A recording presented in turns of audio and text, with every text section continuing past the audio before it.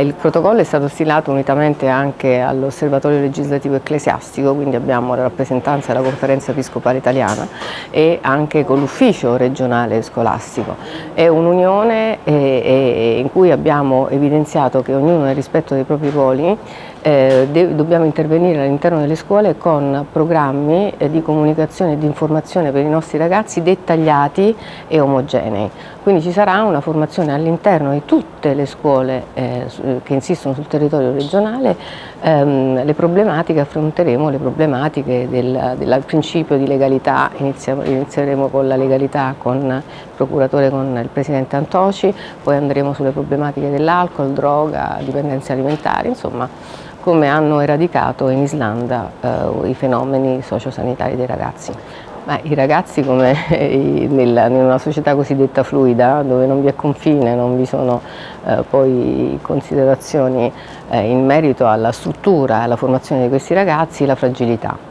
Eh, quindi ad esempio abbiamo avuto nella provincia di Pescara 1500 accessi lo scorso anno, eh, scagionati del tempo, eh, di crisi di panico eh, quindi poi ci sono le assunzioni di,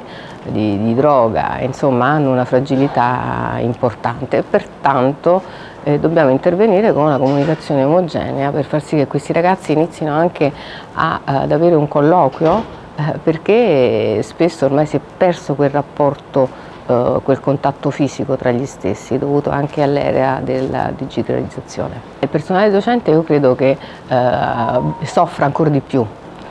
perché da quando eh, poi eh, anche in questa società ribadisco fluida in cui anche i genitori sono entrati all'interno delle scuole è invece quello che dobbiamo a mio avviso ripristinare ognuno la propria competenza. E quindi, eh, e quindi per far sì che questi ragazzi finalmente abbiano anche un riferimento di una figura autorevole in noi adulti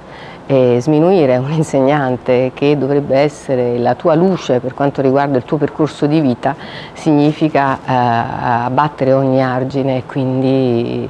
abbiamo questi ragazzi che manifestano una fragilità importantissima. E purtroppo è aumentato, c'è un 38% di infortunistica mortale, ma quello che è aumentato ancora di più sono le, le dipendenze alimentari, quindi le distorsioni in ambito alimentari. Eh, vediamo che queste ragazzine eh, purtroppo um, con questi anche filtri insomma, hanno un'immagine distorta di sé. E quindi vedendosi all'interno del, uh, dei social totalmente diversi poi hanno anche un non riconoscimento della propria immagine e quindi una crisi in merito alla propria identità, alla propria personalità. Insomma, eh, io credo che come hanno fatto in, in, in Islanda che hanno eradicato eh, le problematiche dei, dei, dei ragazzi, eh, noi adulti abbiamo acquisito la consapevolezza che abbiamo sbagliato perché questi sono i risultati oggettivi, i risultati sociosanitari e porremo rimedio perché in modo concreto porremo rimedio.